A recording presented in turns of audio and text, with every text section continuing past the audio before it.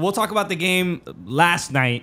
Uh, you know, the, the rematch against uh, Miami, but we have to talk about the League's Cup final. Uh, obviously, you scored in that game.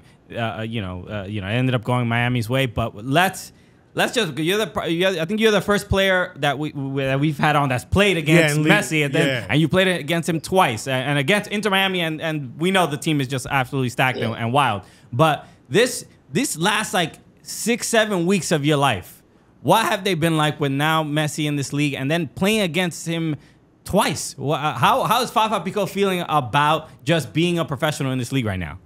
No, it's it's nuts. It's been crazy. It's been a, an amazing transition for the league.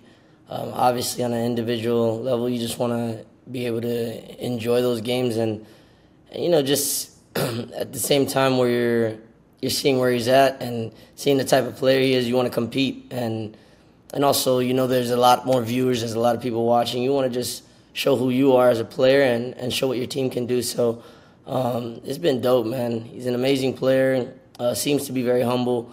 Um, he's achieved so much, so it's great to step on the pitch uh, with, with a guy like that. Now, I'm I'm curious about the, the- just the conversations from game one against Miami against to game two against Miami because the game last night was uh, uh and we're we're recording this obviously the day after that game. like So- 12 hours after the game. so uh, thank you, Fafa, again for doing this. Anytime But for y'all, the, the the the second time around, I mean, w- the conversations about how to not necessarily tactically stop Miami, but like there has to be a, a little bit of like this dude ain't beating us. Somebody else got to do it. Let What- Pippen try, because we the- gonna stop Jordan. What are Jordan. the egos like? what are the egos like for for uh, Nashville players, and, and and especially leading into that second game? No, we know we, we know they've been on an amazing run um, since their additions. It's not just him. You got Busquets, you got Jordi Alba coming in. Um, they've been amazing additions. This guy Busquets is crazy in the middle.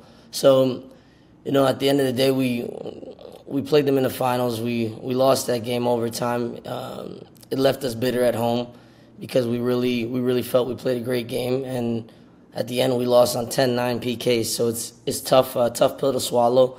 But going into the league again, we got to fight for our points, and we know we're there at the bottom trying to scrape their way up the table. So going over there, we know it wasn't going to be easy with humidity, uh, the players they have, the run they're on, the momentum.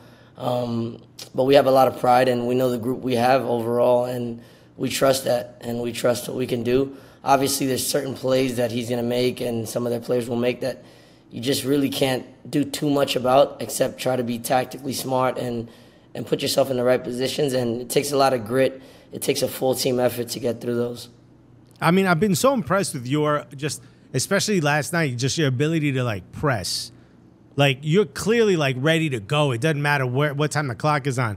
But you mentioned Busquets. Is there something really frustrating about it? Because when you watch it, you're like, he's not moving fast, but he's here one second, gone the next. It's like, Yeah. oh, he was right here, bro. Yeah. Is there? uh, Maybe it's not even just Busquets, but players like that. Is that frustrating sometimes?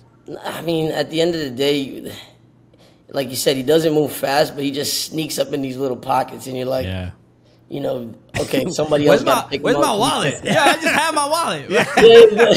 He wearing your shirt? I was just New York- wearing it. the New York bump check to make sure nobody stole nothing off you. And like, yo, man's was just here, and and Messi does the same. So it's they kind of play off each other in a strange way, and then you have dynamic strikers as well, um, like Josef, that's that's moving off of them as well. So it's it's just very dangerous uh, all around. But my job as a striker and and winger, depending on the game, is to just kind of close in those angles, uh, make it as make it as difficult for Busquets as possible to have to play back uh, as much as possible or not be able to just play balls through lines um, as comfortably as he wants to. So try to disturb him uh, and make the defenders make the play because at the end of the day, they're further back on the field and um, and I think it's better if we're able to press higher than, than just drop down because that's when Messi and the rest of their attack becomes extremely dangerous.